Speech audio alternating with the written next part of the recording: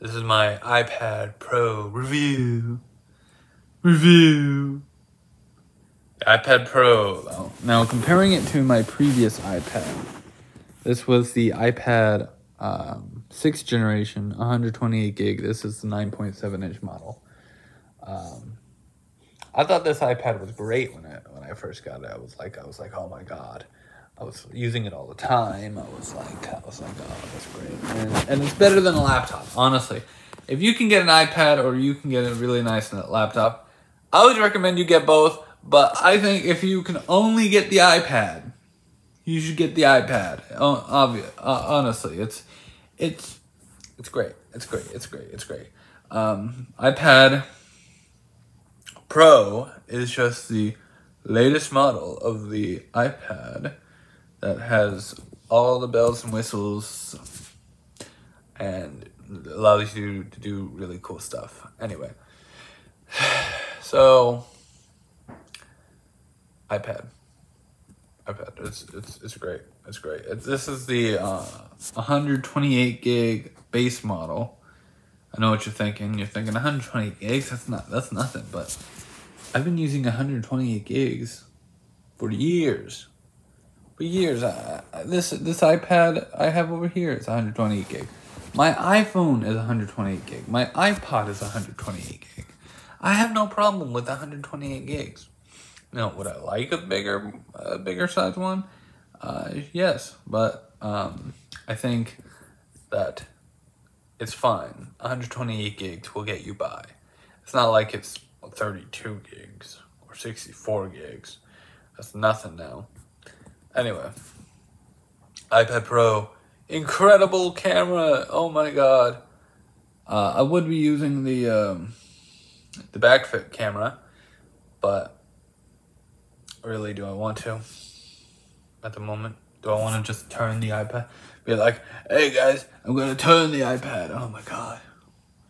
No, no, oh no. And anyway, anyway, um, iPad Pro thumbs up for me. Uh, great device. Then again, I like a lot of Apple's devices. Okay. I love Apple products. Love them. I, by the way, I heard uh, something interesting that they're not come with the iPhone 14. They're not coming out with a mini variant, and I don't understand why. Um, mini iPad or iPhone 12 mini that I have right here, I I bought because you know originally I was using the iPhone SE second generation, the second generation SE, the one that looks like the iPhone uh, 8, I think it was, and that was a great phone. That was a great phone. I still have it, um, but I was like, I was like twenty damn, 20 bucks uh, through my carrier and I get the 12 mini. I was like, that's a fucking steal. Anyway, I was like, yes, I'm going to get that iPhone 12 mini. And I got it. I got it. And, it, and it's been great. It's been great. It's a, this is the best, like, this is both the best phone I've ever used.